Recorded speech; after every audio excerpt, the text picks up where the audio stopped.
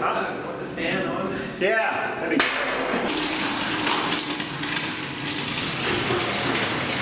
Aluminum starts to deform about the same temperature that the lead is at. Yeah. Not too much. That's good. That, that'll do. All right, just a little bit more on that one. I think we'll be good. Anybody here? Yeah, good. It. Not just me.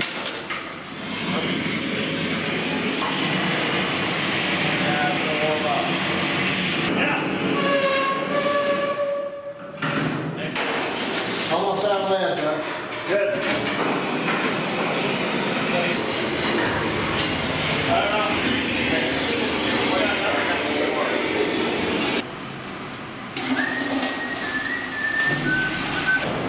Tomorrow night. Meditation night. Nothing like meditation and lead. I'm sorry, that's. That's good enough. Just Put some liquid in there, it helps start the next batch. I didn't mean meditation, I meant meditation. Meditation night. Meditation, right. Yeah. You zone out on medita- meditation night? I zen out on medication night. What, what, what's done? Very good. Well done, guys, well done. Not that bad for I'm glad we did that, 'cause that took three a lot of lead. engineers, three, uh, three engineers, a veteran, and uh, a pilot. I don't know if he counts as a pilot, he only he flies Cubs. I can fly a Cub. Does that count as a pilot? Like driving a Jeep. He's holding the camera, so he thinks he can't say something bad. Like that. Anybody can fly, it's how well you land. I can, I can fly really good. Yeah? We're not talking about drugs. I land. I can take off. They never let me land. It's that last, I'd say it's the last 30 seconds to get in trouble. I gotta tell you how my, what my, how I, I gotta talk to you about flying with my dad. Okay. Yeah. He was, he was a riot. Oh, I bet. He's the worst pilot ever. What, this side too? Yeah, that was before I figured out what I was doing. Uh, you know, yeah, uh, we all don't know what we're doing. Some people just admit it better than others. We've been messing with the TIG because uh, Zach went out dirt back bike riding. Did you take a dive to do this? Yeah. And he broke the mirror support. Yeah, that, that's your first TIG weld ever? Yep. Shit, you're better than I am. What we use for our TIG welder is this uh, one of these little longevities. And did you look up the price on that thing? I don't think I paid much for it. They're cheap. They do uh, TIG and stick. I've never tried the stick, and I probably never will unless it's just my other welders have died. But I got it for the TIG, and it seems to be doing pretty good. Yeah, it mounts right here. Right there. Yep. Yeah. I got these things because uh, they're cheaper to replace than the mirrors. These always break. free. Oh, they're designed to break. Yeah. Because Oh. the stock ones, you see the stock one here. They're big and hit. Oh, Yeah, because you. this isn't a- it comes as an assembly. Oh, I That's see. expensive. Yeah, so you don't. So you already broke that off. Yeah, I've been found these on Amazon. They're only a couple bucks each, but they come from Hong Kong. so they take forever to get here. You see that? A little prayer for the bike. Is that what it is? Yeah, it's a it's like a good luck charm sort of deal. I like it. They yeah, it's sort of uh, every motorcycle shop sells them. Do they? Yeah, I've never seen one before. they're sort of gas stationy sort of deals, but I like. it's like the uh, it's like the uh, evergreen tree on the mirror. Okay, one more time with this thing. I put another layer of patch in there. Think I got all of it this time. We'll find out. we're getting ready to coal tar the rings for the portholes. We've already put one coat on them. Now we're going back through and looking for spots where we missed with a mirror because you got to paint back behind the things. Gonna touch that up. This is weird, man. I, I meant to put this in the deep freezer because you can hold epoxy in the deep freezer. That is like still soft and flexible, and so I coal tar is one of its advantages that it stays flexible. It's like a like a ball. Man, it doesn't bounce like a ball, does it? Maybe it does this way. Yeah, it does. What? Just put it in the blank spot over there. What, where the others are at? Yes. That makes complete sense. Yes. Yeah. I, I see like ear to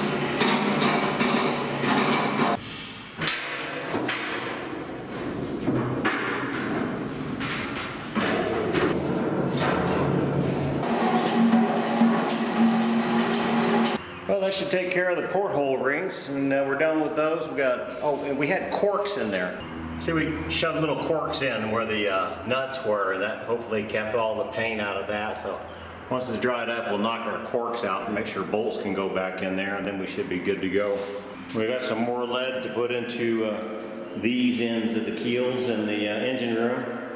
And then uh, we can start uh, making the tops for these. There's a little, you know, we're to put diesel in here, and I imagine that diesel is going to leak down through that eventually and get into that keel below. And uh, somebody brought up the idea of, you know, what's the results of diesel and lead and steel all mixed together? You know, there might be a, an electrolysis uh, uh, cathodic problem then, so we got to mess with that a little bit more. But, uh, oh, and I need to melt out that lead a little bit of flatter in there before we roll it onto plates, but it's coming along. Most of them. Yeah, say give another month or so at it, I have something that would look good. You bet it. Yeah, what size? Is that all the way around now? Uh, I think so.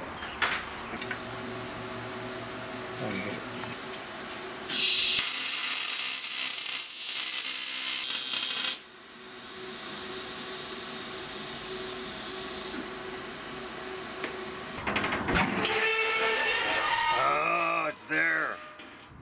It's still leaking. Damn. I don't know if I'm ever gonna find that. Yeah, see, it's just a little wet on the concrete there. Hmm. It- It's it's much slower than it was. It's it's it's livable. It's totally livable. Yeah, I went warmed up nicely too. Just in that half day.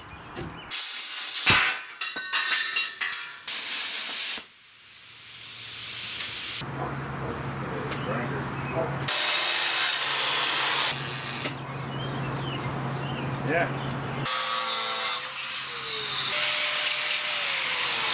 That's good. And the last thing we gotta do is put a grip edge on it.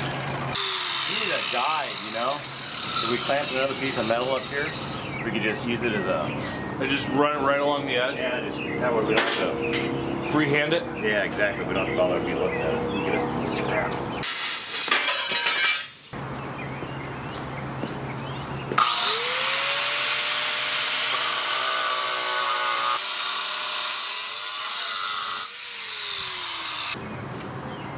Oh yeah, that's perfect. That'll let the water drip off. Yeah, okay. We want it.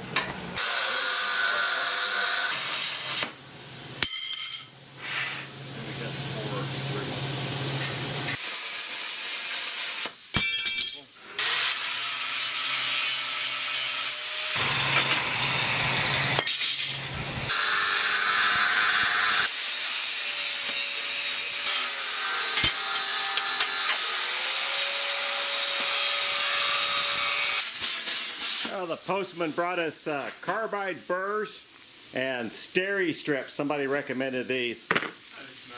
Yeah, after last weekend, we need some steri strips.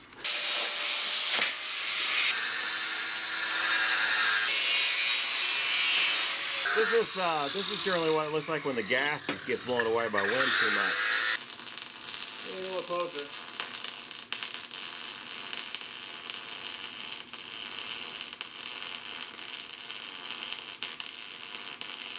Too far out forward. When you get too far forward of the puddle, you hear it, you'll hear it popping more. Okay. So don't don't breach the forward edge of that puddle. That's good. Go ahead.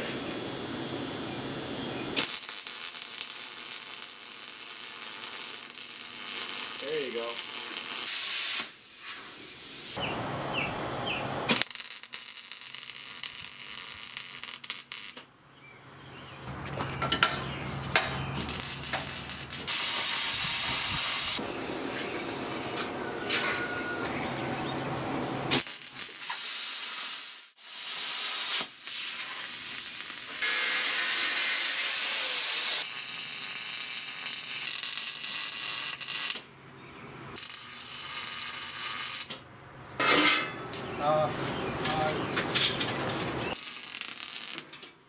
I think you can get a little bit more out of that disc.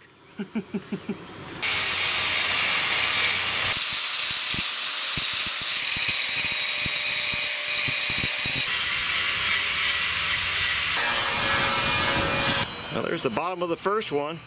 I'm going to do a little grinding underneath the bottom edge there, but yeah, I think that looks really good.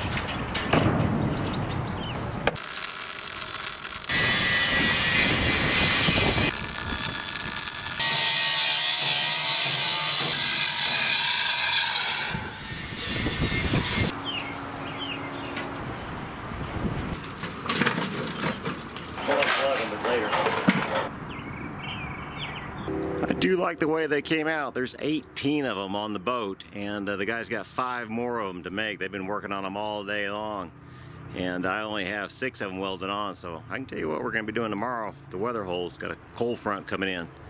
High today was 83. Tomorrow is 63, and there it is. It's coming. Jezebel likes the cold, don't you? So, yeah. One, two, three. Yeah, that's good enough, I think.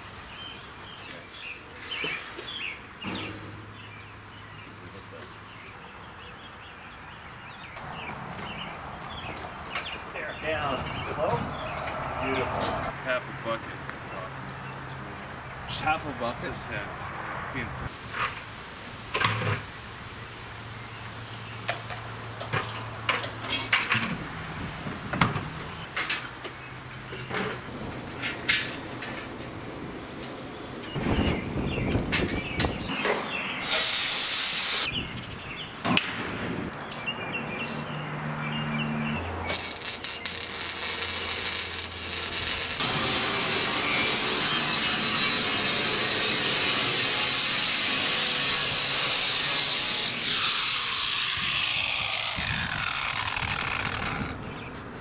Most of that now is on the outside. Yeah, I guess somebody ought to get out there and grind on the outside.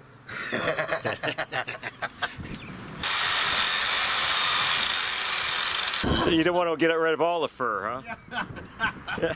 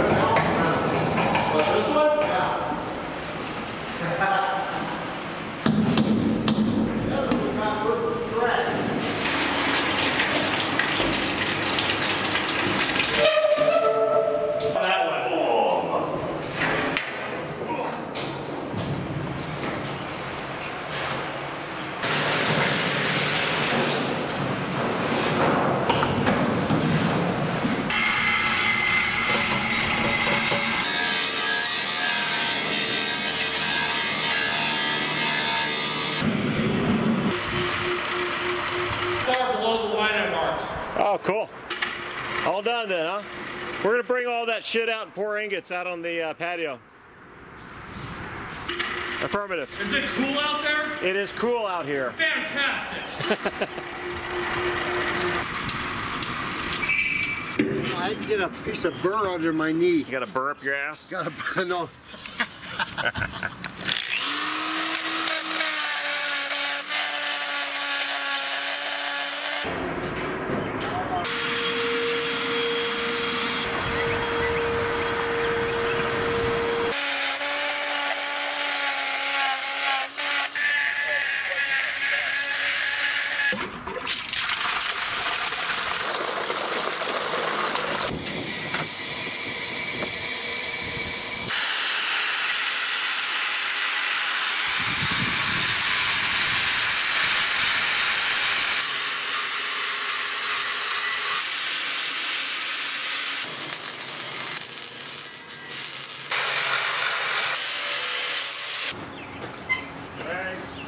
There. Bart's like, don't let Bart work on the boat. He's gonna kill himself. Look what he did to his hand. Huh? Huh?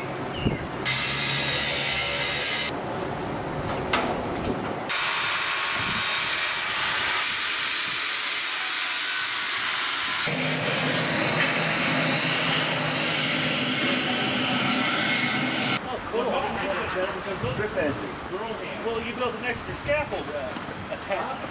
Yeah, I didn't get it quite right. I need to cut this off. White gloves?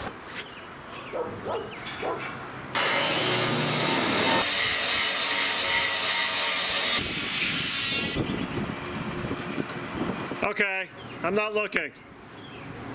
Holy shit! Clean. Did you- nice and shiny. You s- oh, you sanded them off. I did. They're I gorgeous. used- I Were they dirty? 120. Oh yeah, they all had. Oh, okay, there you go. Black. This is routine maintenance on our uh, crane uh, controllers. Bart's perfect at it now. This is what the second time you've done this already? Second on two of them. Third on one of them. I don't know which one it is. We have to make a, template with that steel. Set on top of the lug.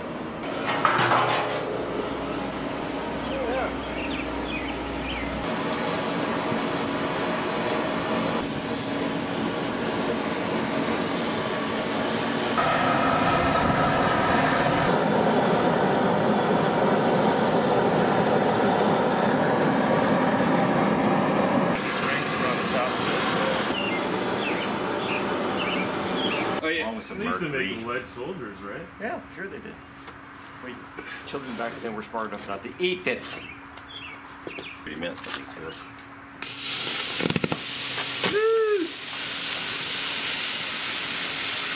Look at that. And Andy's getting a little spa day treatment This is right like there. the manliest spa I've ever been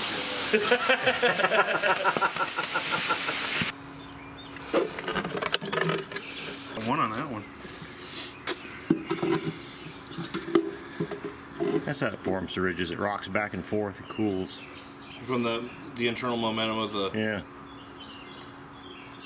That is freaking freaking sweet. yeah.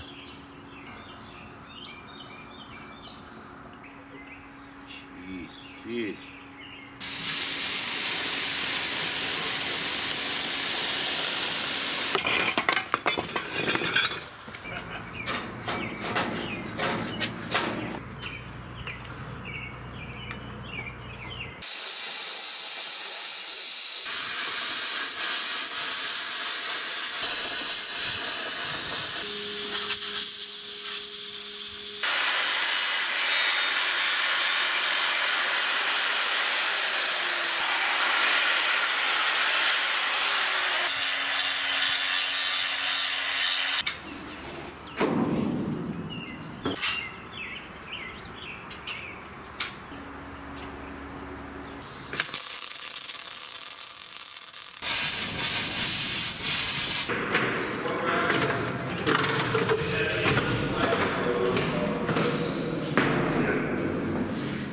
Good. Hey. Oh, the light and everything. Troubleshooting our. Uh, Yeah, because if you look here, that's a terrible gap. Jeez. But if we're looking at it, Well, what if we just put a rod in down at the end? well, you see how we got the little bracket on there so we can grab it? Yeah. See how it's angled at the same direction the light is? Yeah. If we have it more like that, which means if we take some of that edge, it's going to set down and they're more level and it's going to drop down a little further. Okay.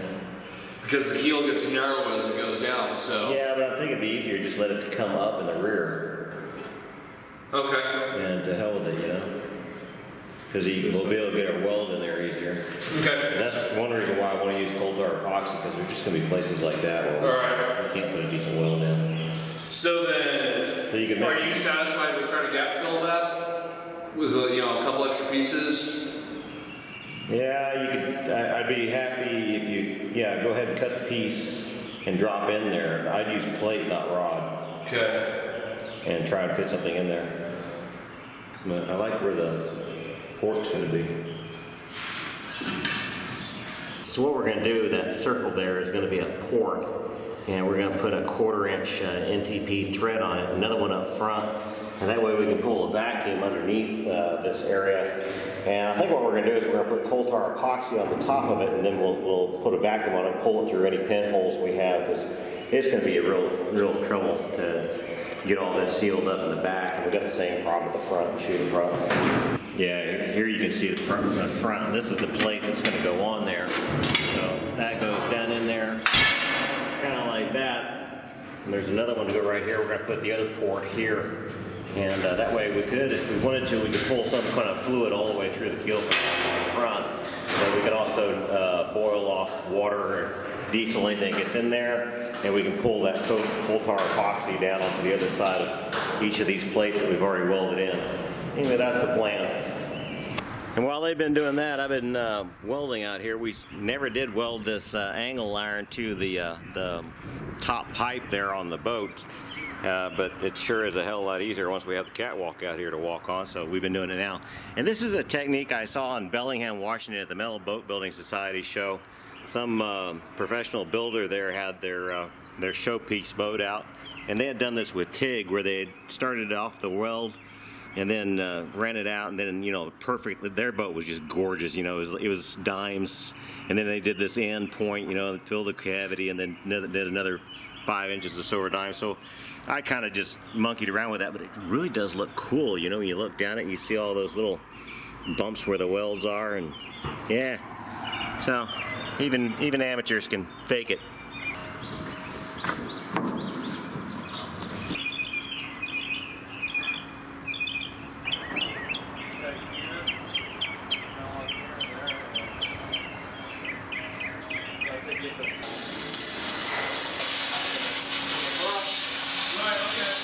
Andy and George are doing out here is they're uh, welding on these little pucks, and then they uh, they're going to tap these Got one that's in tap.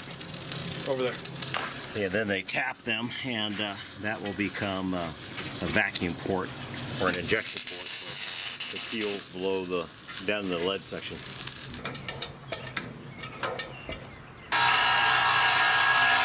Wolfemia. Ouch. It's kind of warm out here. It's a little warm.